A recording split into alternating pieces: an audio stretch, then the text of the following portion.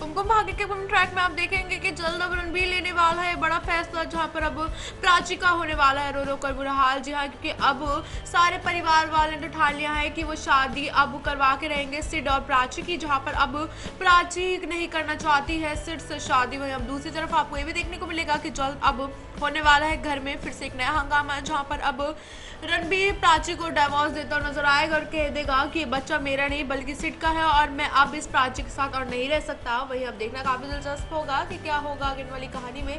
हम तो काफ़ी ज़्यादा एक्साइटेड हैं इस एपिसोड को देखने के लिए। आप कितने एक्साइटेड हैं, कमेंट करके ज़रूर बताएँ।